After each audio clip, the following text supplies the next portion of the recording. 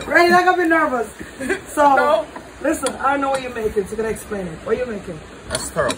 Stir. I call them links. Okay. Yeah, this whole is steel together. Uh-huh. That means they don't break apart. And If, then- if it's an earth. Okay, and then what is this over here? Come here, speedy legs. These are the columns. Okay. So the links go along with these steel. Keep it strong.